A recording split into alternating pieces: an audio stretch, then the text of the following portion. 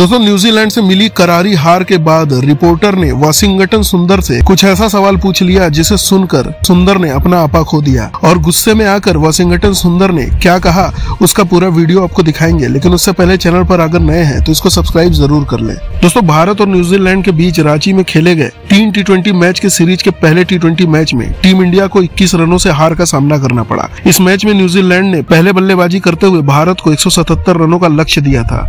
इसके जवाब में भारत का टॉप ऑर्डर पूरी तरीके से फेल हो गया और 15 रन पर ही तीन विकेट गिर गए थे, जिसके बाद वाशिंगटन सुंदर ने अंत में 28 गेंदों पर पाँच चौके और तीन छक्के लगाकर 50 रनों की बेसकीमती पारी खेली थी, मगर भारत को जीत नहीं दिला सके थे। टीम इंडिया नौ विकेट पर 155 रन ही बना सकी और उसे हार का सामना करना पड़ा। हालाँकि मैच के तुरंत बाद वाशिंगटन सुंदर प्रेस कॉन्फ्रेंस में एक पत्रकार के सवाल पर भड़क गए। न्यूजीलैंड के खिलाफ मैच में हार मिलने के बाद सुंदर से एक पत्रकार ने सवाल किया टॉप ऑर्डर फेल रहा तो क्या आपको लगता है कि उसमें बदलाव की ज़रूरत है? इस सवाल को सुनते ही फिफ्टी जड़ने वाले वाशिंगटन सुंदर भड़क गए और उन्होंने जवाब देते हुए कहा, अगर आप किसी रेस्टोरेंट में जाते हैं और बिरयानी ऑर्डर करते हैं, लेकिन अगर वह बिरयानी आपको पसंद नहीं आती तो क्या फिर आप दोबारा फिर कभी उस रेस्टोरेंट में नहीं जाएँगे? इसी तरह हमारे टॉप ऑर्डर के बल्लेबाजों ने ढेरों रन बनाए हैं। वह सिर्फ़ एक दिन नहीं चले, और ऐसा हर किसी के भी साथ हो सकता है। जैसे कि रायपुर वनडे मैच के दौरान न्यूजीलैंड की टीम 108 रनों पर ही सिमट गई थी। इसलिए एक न एक दिन तो खराब होते ही है। सुंदर ने अपनी बात कहते हुए आगे कहा,